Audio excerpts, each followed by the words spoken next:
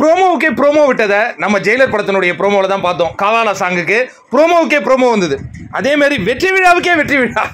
நீங்கள் யோசிச்சு பார்த்தீங்கன்னா இரண்டு முறை வெற்றி விழா நடைபெற்ற ஒரு திரைப்படம்னா அதாவது என்னென்னா பேக் டு பேக் ஒரு ஐந்து ஆறு நாட்குள்ள பேக் டு பேக் வெற்றி விழா பண்ண படம்னா அது ஜெயிலர் படத்தை தான் நம்ம கண்டிப்பாக சொல்லலாம்.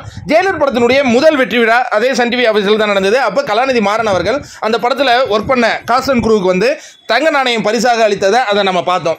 அதற்கு அப்போ வந்து சூப்பர் ஸ்டார் ரஜினிகாந்த் அவர்கள் வெளியில் போயிருந்தாங்க. அடுத்த வெற்றி விழா சூப்பர் ஸ்டார் இருக்கணும். அவர் பேசினாதான் அந்த வெற்றி விழாவுக்கே ஒரு மிகப்பெரிய மகுடம் அப்படின்னு முடிவு பண்ணி மீண்டும் அந்த வெற்றி விழா கலைச்சாங்க அப்போ சூப்பர் ஸ்டார் ரஜினிகாந்த் அவர்கள் அந்த நிகழ்வில் போய் கலந்துக்கிட்டாங்க.